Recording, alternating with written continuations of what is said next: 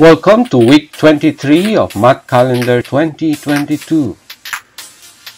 On this video presentation, we're going to show the answer and solution to our featured problem.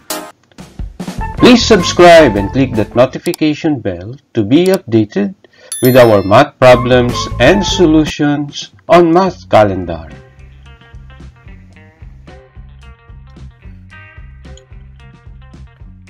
Before we continue, let us appreciate and recognize those who participated and commented their answers to our featured problem.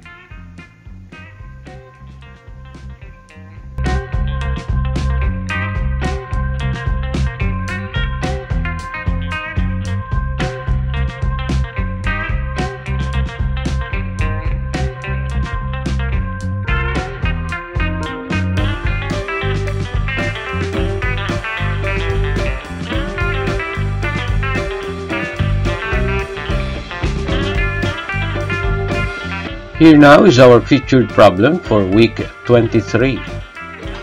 Solve for x in the following equation.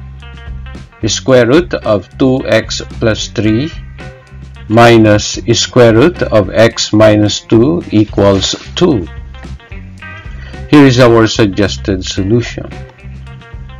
To solve an equation involving more than one radical, Isolate one radical at a time and square both sides to eliminate the isolated radical. Repeat this process until all radicals are eliminated.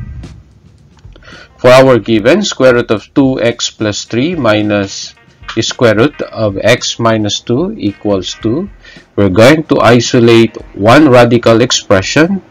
We add square root of x minus 2 to both sides of the equation then we get square root of 2x plus 3 equals square root of x minus 2 plus 2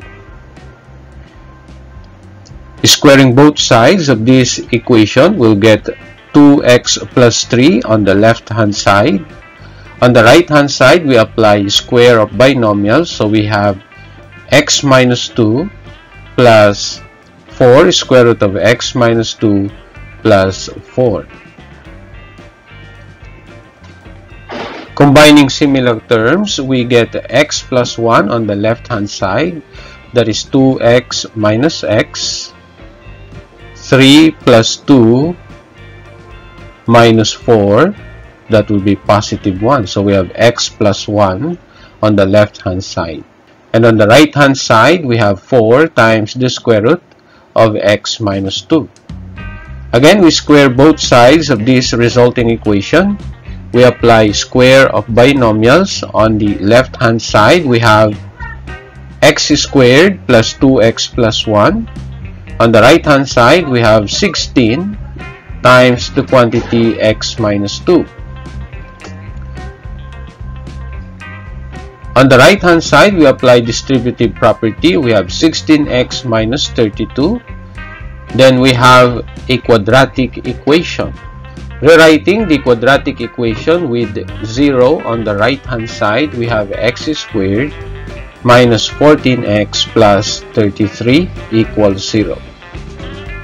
Next, we're going to solve this resulting quadratic equation by factoring.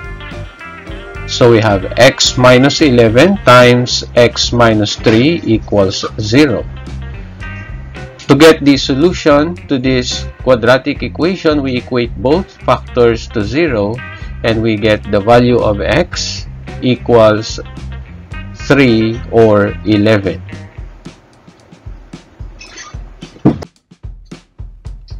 That will be all. Thank you for watching. Please subscribe for more of Math Calendar.